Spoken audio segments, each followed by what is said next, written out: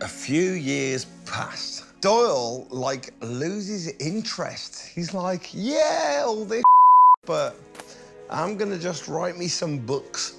So, like, ugh. Oscar Slater, he's stuck in prison. He's learning the harmonica for like 11 long years. Like, what has happened to you in 11 years? Camera, dude! What were you doing 11 years ago? Wanted the camera. You wanted to do camera, and now you are doing camera. What were you doing 11 years ago? Camera. You wanted to do camera, and now you are doing camera. All we're getting from this interaction is we've got a very dedicated camera team, guys. And if you live your dreams, you can do it. And if you want to be on camera, start now, because it's going to take 11 years.